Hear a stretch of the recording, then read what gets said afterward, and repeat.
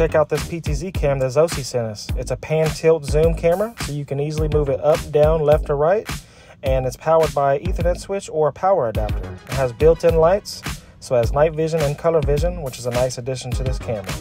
But check it out, it has human detection, so it can easily move left, right, up, and down to find a human or a car that may be passing by. And look how bright these lights get.